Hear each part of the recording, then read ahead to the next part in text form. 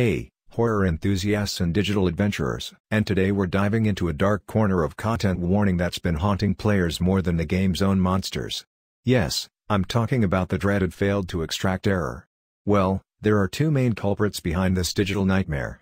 First up, if you're the kind of player who loves flicking that camera on and off, thinking it'll save battery or just for the fun of it, you might want to reconsider. This action is the most common trigger for the error.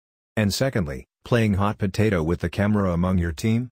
Yeah, that could also summon the error from the depths of the code. But don't fret, I've got some temporary fixes that might just keep those spooky spirits at bay until we get a permanent solution from the devs at Landfall Games. First, a little magic spell from the developers themselves. Hit F3 to debug the video. It's like giving the camera a little jolt to remind it who's boss. But remember, it's just a temporary charm. Fix 2, join another lobby with footage of the lobby screen. And if that doesn't work, try switching lobbies. It's like stepping into another dimension where the problem doesn't exist. Until it does again. Not ideal, but it gets the job done for some. The true fix? We'll have to wait for Landfall Games to weave their developer magic and patch it up for good. But until then, these tips should help keep your horror vlogging career from an untimely demise.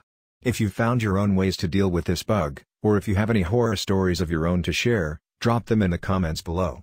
We're all in this haunted house together, after all. Don't forget to like, share, and subscribe for more fixes, guides, and all things gaming.